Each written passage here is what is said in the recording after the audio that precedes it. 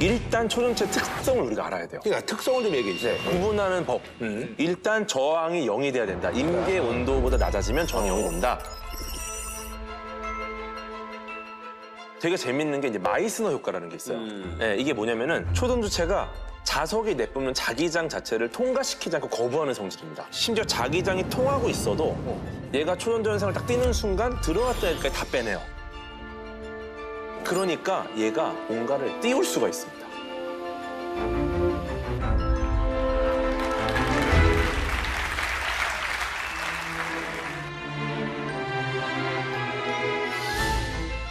들으면 들을수록 굉장히 그 놀라운 그런 물질이라고 볼 수가 있는데 이게 이제 어쨌든 상용화가 안 되는 데는 여러 가지 이제 어 이제 어쨌든 핸디캡이 있는 거잖아요. 예, 그거에 대해서 좀 설명해 주세요. 어려운 게 말씀드린 것처럼 굉장히 낮은 온도예요. 그 특정 온도 이하에서 이제 초연도 현상이 나타나는데 그 온도 처음 발견했을 때가 영하 269도였어요.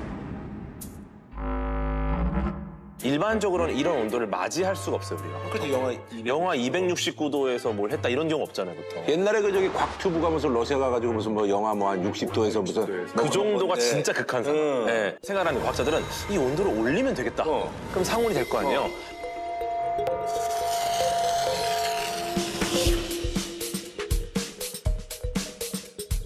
드디어 영하 23도까지 올립니다. 오야 오야 쓸 수 있는 이거는 겨울에 그러니까. 극지방에 쓸 수가 있어요. 영하 20몇 도면 그래도 뭐 현실이잖아요. 어, 현실이네. 이게 이제 2019년 5월에 이걸 달성을 했는데, 네, 근데 이제 문제는 뭐냐면은 이게 압력이 이제 말이 안 돼요. 위에 다이아몬드, 밑에 다이아몬드에서 요 안에 수소 화합물을 놓는 거야. 그다음에 눌러요, 눌러.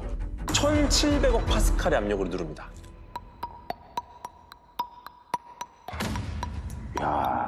뭔지 모르지만 엄청나게 누르는 것 같네요. 그러니까 우리가 있잖아 그 뭐 무슨 영화 같은 데 보면 이렇게 길을 모아가지고 뭐 쏜다 그러는데 그런 것처럼 기체가 있는데 그걸 눌러서, 눌러서 고체를 만든다는 얘기예요? 네, 그렇게 해서 만들어내서 이제 그때 들어 압력이 이 1제곱미터, 한 요만한 크기의 1,700억 킬로그램의 무게를 누르는 거랑 비슷해요. 사실 말도 안 되는 무게죠.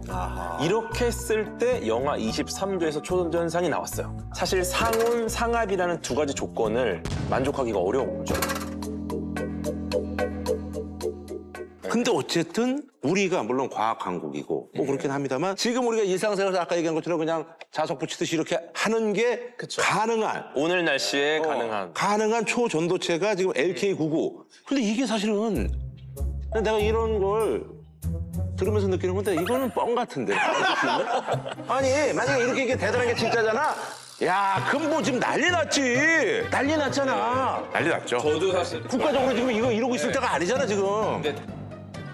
이 상온 상압 초원체를 기다리고 있는 한 사람으로서 되게 설레는 일이긴 한데 결국은 전문가들이 검증을 하고 나야지 우리가 이걸 받아들여야 돼요.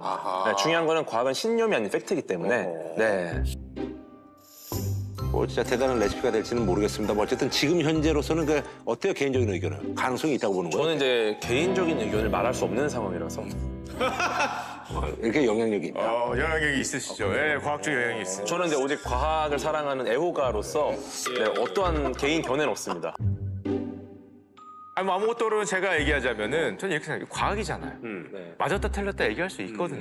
근데 문제는 주식과 연결이 되니까 맞았다 틀렸다를 얘기를 못해요. 여기도 얘기 못하네 그러면 결국은. 저는요, 됐으면 좋겠지만 원래 과학이 100 중에 99가 안 되는 게 과학이잖아요. 그만큼 어렵죠 모든 것이. 100 중에 1이 됐으면 좋겠어요. 하지만 시선은 비판적이다.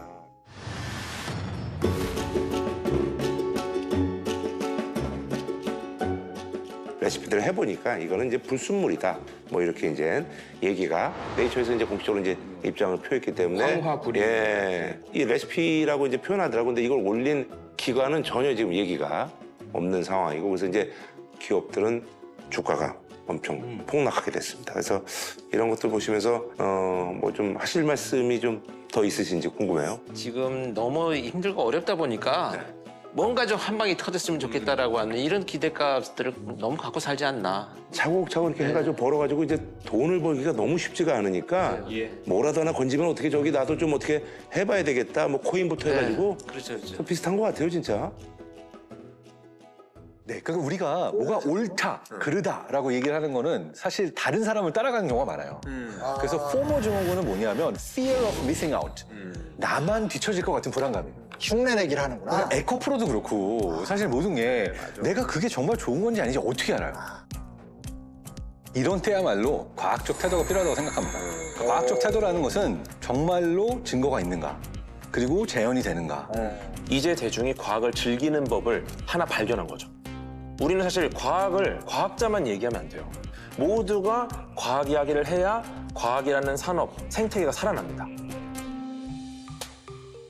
그래서 전 앞으로도 굉장히 많은 분들이 이렇게 수많은 비밀들, 과학에 있는 이런 정말 가치 있는 경이로움들에 대해서 관심을 갖고 계속 편하게 이야기해 줬으면 좋겠어요. 네.